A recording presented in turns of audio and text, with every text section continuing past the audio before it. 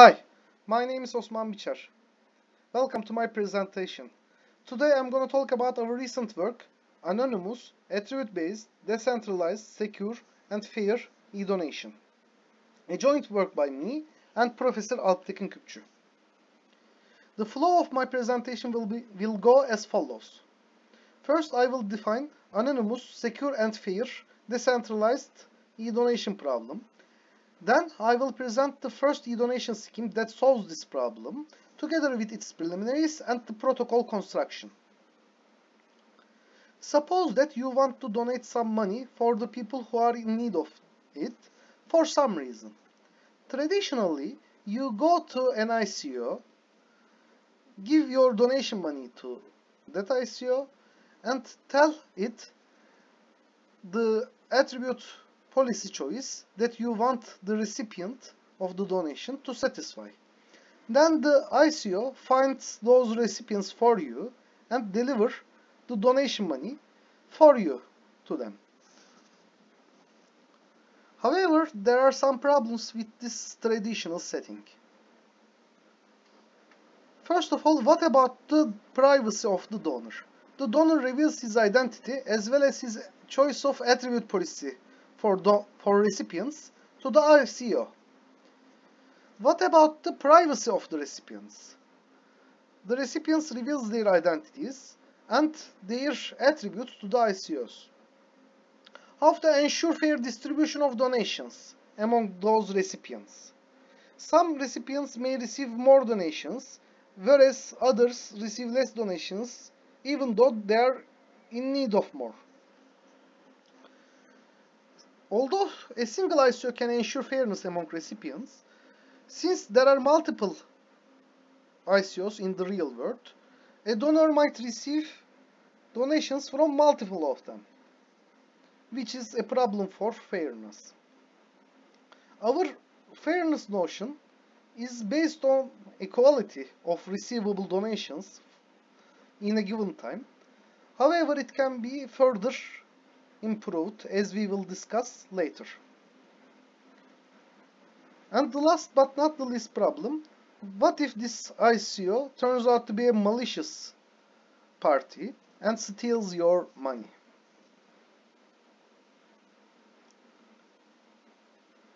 Making donations is a grand sector in the world. More than 180,000 ICOs only in United Kingdom exist according to Center for Charitable Giving and Philanthropy. More than 2 out of 3 people donate in countries like Indonesia, Australia, New Zealand, United States, Ireland and United Kingdom, according to CAF 2018 World Giving Index. To solve these issues with the traditional ICO setting, we had some inspiration from histori historical traditions. One of them is Italian anonymous coffee ordering. Here you go to a coffee shop, give some money for free coffee, then later another person comes to that coffee shop and receives free coffee on behalf of your previous donated money. Another one is Turkish hung free bread. Similar to Italian anonymous coffee ordering, here, people put breads into places that everybody can see. Then later, anybody who wants to get free bread goes and take from those places.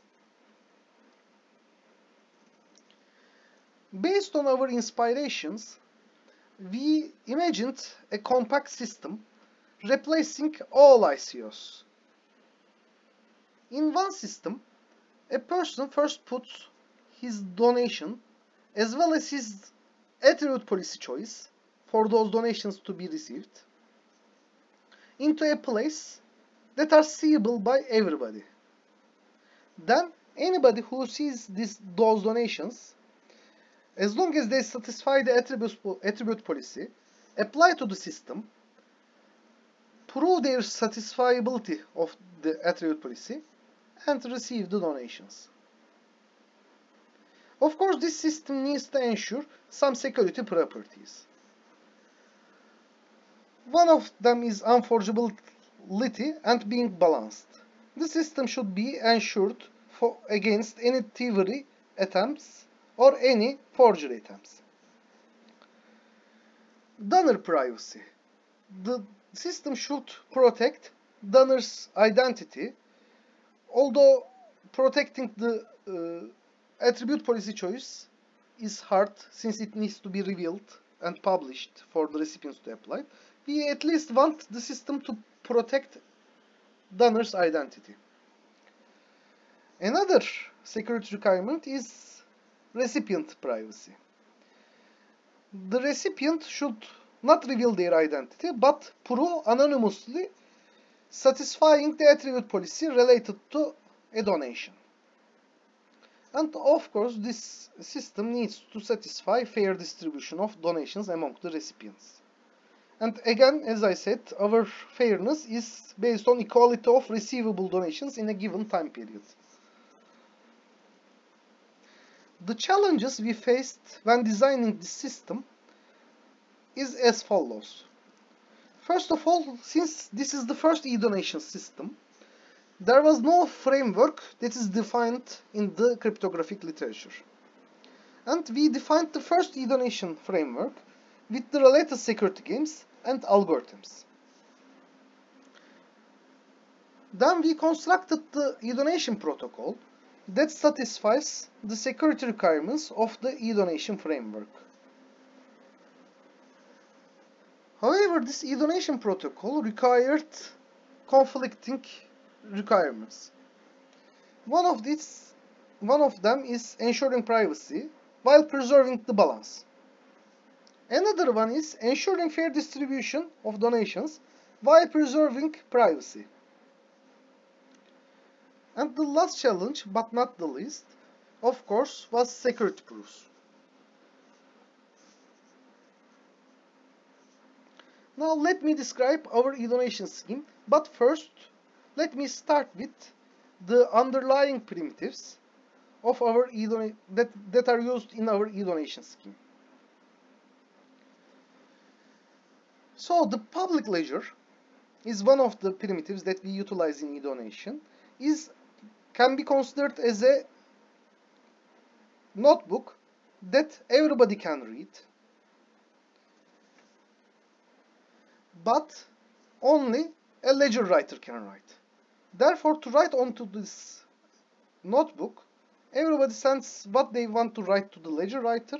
Then the ledger writer checks it according to a predefined policy. And if the policy is satisfied, I mean, a predefined rules, that if the rules are satisfied, he writes it onto the ledger.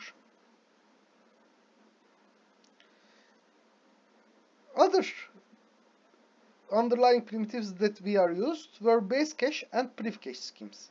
So base cash is a abstraction, is an abstraction of the known, well-known cryptocurrencies such as Bitcoin or Ethereum.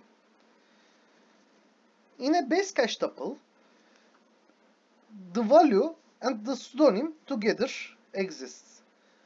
So they together make up the base cash tuple. The security guarantee related to base cash is balance. So the balance of the parties involved are assumed to be secured by base cash. And another abstraction that we used is Privcash, which is an abstraction of Zerocoin or Zerocash, anonymous, decentralized e-cash. So Privcash is used for anonymously making transactions among people. So it provides two operations. One is Privcash mint for blurring your base cash into a Privcash. Then anonymously spending that Privcash as a base cash of a separate party. These two operations also has related transactions that are resulting from those operations that needs to be sent to the ledger writer after the operation has been executed. The related security guarantees by Privcash is anonymity of the users that make the transactions and the balance of the involved parties are protected. Another primitive that we utilize in e-donation is attribute-based signatures. They are utilized for proving satisfiability of an attribute policy as a signature on a message. Therefore, they are non-interactive. And the identity of a signer remains anonymous in this signature. Only the satisfiability of an attribute policy is revealed. The user to sign a message first needs to obtain attribute certificates from the authorities. After obtaining the certificates, he can generate the signatures. As, as the attribute-based signature scheme, we use our recent work, Versatile ABS or VABS. The reason why we use this scheme is that it provides usage limitation. That is, in a given time period, the number of signatures that can be generated by a signer can be limited to a certain number. If the signer generates more signature than that, the verifier of the VABS will detect and will not accept those signatures. So, in our e-donation protocol, to join it, a recipient first needs to go to attribute authorities and receive her attribute certificates. For example, this student here first needs to go to income office for receiving this monthly income certificate. Then income of his returns her. Sorry for that. Then the income of his returns her the attribute certificate. She also goes to her university for her student attribute certificate and the university then her, return her the student attribute token. After obtaining her attribute tokens, she is ready to receive donations from the system. So the donation process in our system goes as follows. First, having some money, some base cash in the ledger, the donor ma makes a cash mint transaction to convert it into a cash. Then the donor anonymously make the donate transaction, which is actually a cash spend transaction to a attribute, to an attribute policy, not to a person. So since here these are unlinkable, the identity of the donor who makes this donate transaction with this attribute policy remains anonymous. And the donation donate transaction is written on the ledger. Seeing this donate transaction on the ledger, any recipient can then make a claim transaction, which directly references to this donate transaction and is actually a Privcash mint transaction signed with VABS. Therefore, this also means Privcash. And also since this is signed by VABS, the number of signature by a recipient that can be generatable and can get verified actually can be limited by the ledger writer that needs to check these donations. Together with having donations to be unit amount, this usage limitation can ensure equality, equality of receivable do donations in the system in a given time period. And since this is actually a Privcash mint transaction. It blurs the uh, base cash into Privcash. And now, anonymously, the recipient can spend it to any person that he wants.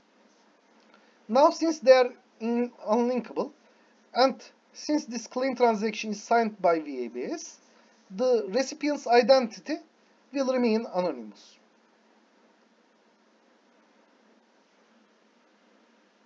And since this the recipient of this Privcash spent operation cannot be linked to this donation, although it can be linked to the recipient, recipient's attribute policies will remain private.